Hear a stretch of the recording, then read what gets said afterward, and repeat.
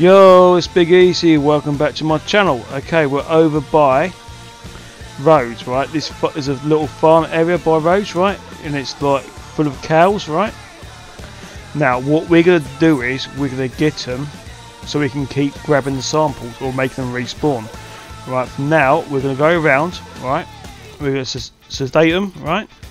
And we're then gonna go around getting our samples. Okay. Now this is actually quite a good method. I actually saw this on my um, YouTube Sun channel, Silent9. His link will be in the description somewhere, right? So yeah, all you want to do is go around, knock them out, get your um, stuff. As you see, there's no cows in that place. Now all you want to do now, right, is go to online and respawn. When you respawn, okay, you will have more cows respawning back in that area, right? As you now see. I got more cows respawn. So I'm going to go over here. All those cows spawn over there. Then we go back to shooting the cows again. Knock them out. Get in our, um, what's it called? Right. So you can only hold 10, I mean, I mean samples, yeah? You can only hold 10 samples. People who can't hold 10 samples, you need to go and unlock the collector's bag, I think it is. Alright, so then you can hold 10 samples, right?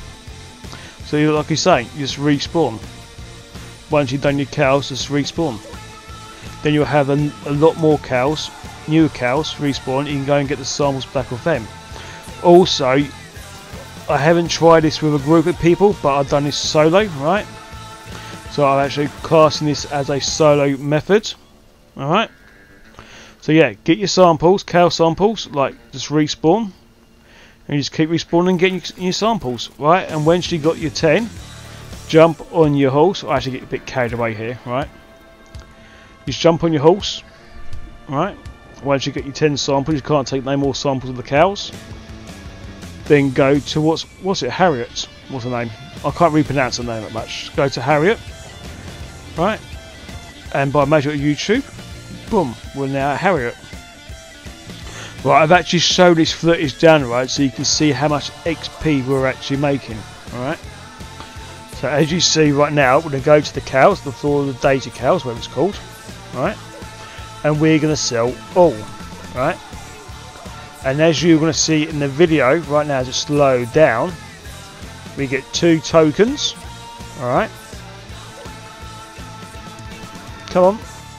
620 XP for the nature reserve, plus another 500 XP on top. So all in total we're making 1120 XP okay so I was putting this video out there.